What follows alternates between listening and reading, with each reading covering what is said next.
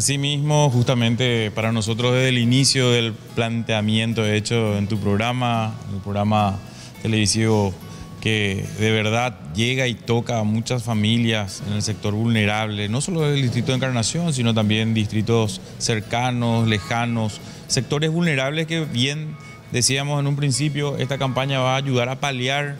las necesidades de esas familias en el niño, en ese niño que tiene la oportunidad, va a tener la oportunidad hoy de ir a asistir a clases con un calzado. Muchas veces nosotros no nos imaginamos, no dimensionamos emocionalmente eh, cómo se siente ese niño y hoy con la oportunidad de brindarle esta, este beneficio, este regalito, nosotros queremos también por parte de todos los funcionarios de la gobernación, de personas familiares a los funcionarios de la gobernación que tuvieron,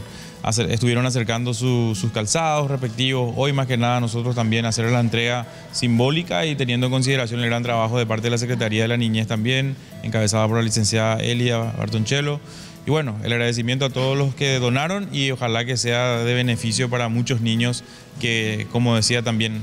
va a redituar en una educación, en una mejor educación y en un mejor futuro. Nuestra generación de ahora es la que justamente nosotros queremos potenciar desde los niños, con todos los programas desde el gobierno ejecutivo que tenemos hoy nosotros en planes y proyectos desde el área de educación, asistencia a la niñez, así que va a ser un eje principal para nosotros para que tengan en consideración siempre.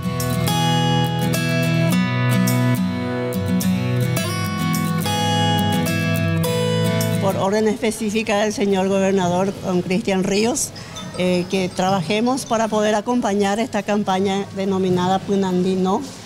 Eh, la encaramos dentro de la institución, tal es así que cada funcionario puso su donación, ya sea trayendo los calzados o poniendo en efectivo para poder comprar los calzados que ustedes ya van a ver la calidad. Son nuevos para niñas, niños y adolescentes eh, una campaña que nos tocó muchísimo, una campaña encarada desde el corazón, así que todos los funcionarios se pusieron las pilas y trajeron sus donaciones, eso es lo, más importante. Eh, esto está encarado del gobierno departamental y el primero que donó fue acá nuestro gobernador y ya comenzamos también eh, recibiendo las donaciones. Vamos a recibir más donaciones desde afuera que le vamos a estar entregando después, licenciado, porque el lunes o martes van a llegar unas donaciones de zapaterías que van a donar ya calzados a la gobernación para que podamos otra vez entregarle. Pero estas donaciones son eh, de donaciones de los funcionarios.